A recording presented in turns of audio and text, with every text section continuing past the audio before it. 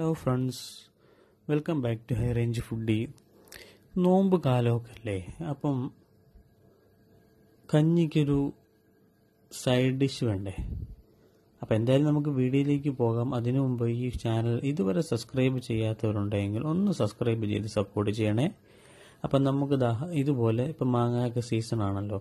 കുറച്ച് മാങ്ങയൊക്കെ വാങ്ങിച്ച് ഇതുപോലൊക്കെ ഒന്ന് അരിഞ്ഞ് ഒന്ന് നന്നായിട്ടൊന്ന് അച്ചാറൊക്കെ ഇട്ട് വെച്ച് കഴിഞ്ഞാൽ എന്താ നല്ല ടേസ്റ്റ് ആയിരിക്കില്ലേ? കഞ്ഞിയുടെ കൂട്ടത്തിലൊക്കെ ഒന്ന് സൈഡ് ഡിഷായിട്ടൊക്കെ പിടിപ്പിച്ചു കഴിഞ്ഞാൽ ഒന്ന് ഒരല്പം ഒരു പീസൊക്കെ എടുത്ത് ഒരു ഒരു സ്പൂൺ കഞ്ഞിയുടെ കൂട്ടത്തിൽ നാക്കിന്റെ മർമ്മത്തോട്ടൊന്ന് വെച്ച് കൊടുത്തു കഴിഞ്ഞാൽ നല്ല ടേസ്റ്റ് ആയിരിക്കും അല്ലേ? അപ്പം നമ്മൾ ഉമ്മച്ചി എന്ത് ചെയ്തിട്ടുണ്ട്?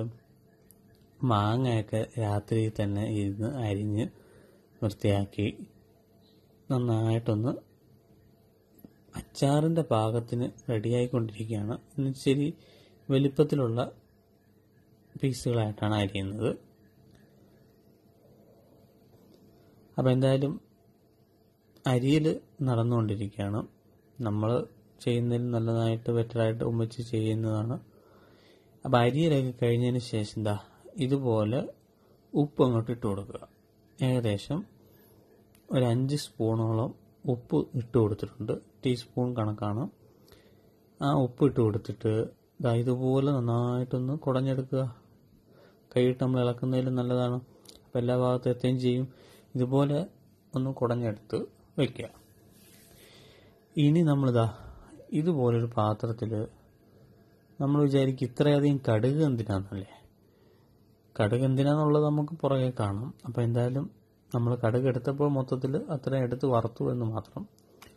അതൊക്കെ അതൊക്കെ കഴിഞ്ഞതിന് ശേഷം ദാ ഇതുപോലെ വലിയൊരു പാൻ എടുത്തിട്ട് ഏകദേശം ഒരു നാല് അഞ്ച് ടേബിൾ സ്പൂൺ അളവിന് എണ്ണ ഒഴിച്ചു കൊടുത്തിട്ടുണ്ട്. ഇനി അതിലേക്ക് ഇതാ ഒരു രണ്ട് സ്പൂണോളം കടുക് ഇട്ട് കൊടുക്കാം. രണ്ട് ടീസ്പൂൺ അളവാണ് കടുകൊക്കെ ഇട്ട് കൊടുത്ത് അതൊക്കെ ഒന്ന് പൊട്ടി വന്നിട്ടുണ്ട്.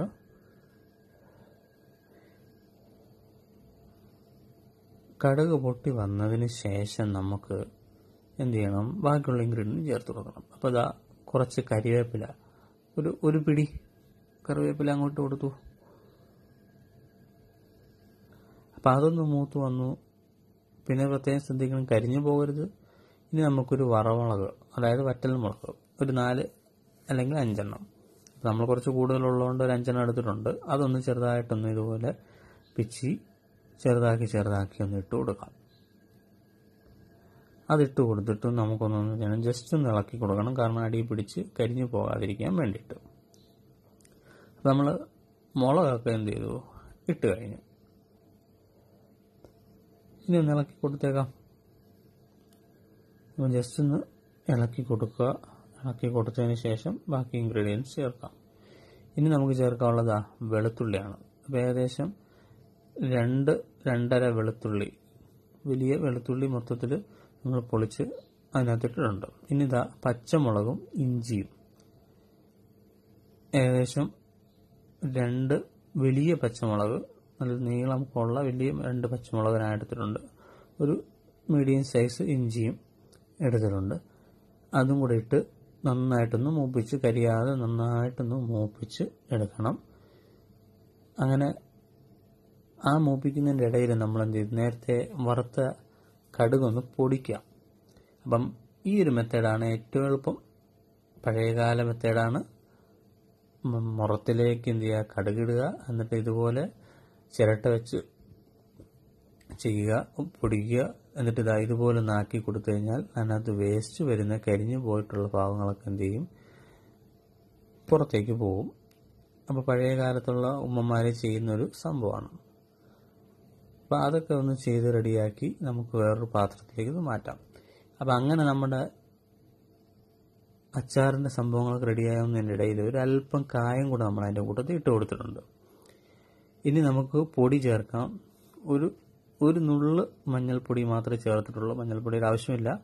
ഇനി നമുക്ക് മുളക് പൊടി ഇട്ട് കൊടുക്കാം. അപ്പോൾ രണ്ട് സ്പൂൺ ഇട്ടു.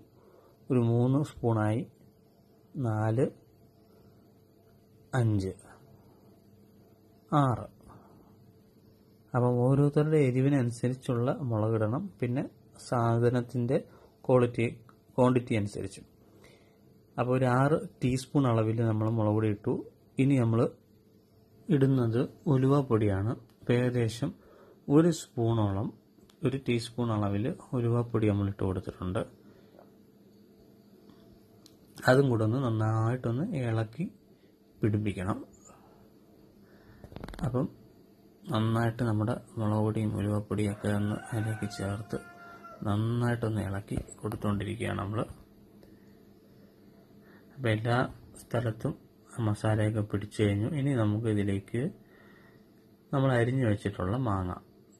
അതായത് രാത്രിയിൽ നമ്മൾ അരിഞ്ഞ് ഉപ്പിട്ട് വെച്ചിരുന്ന മാങ്ങയാണ്. അത് രാവിലെ നമ്മൾ എടുത്ത് കഴുകിയിട്ടാണ് എന്ത് ചെയ്യുന്നത്? ഇതിലേക്ക് ഇടുന്നത്. അപ്പോൾ അത് മൊത്തത്തിൽ നമുക്കൊന്ന് തട്ടി കൊടുക്കാം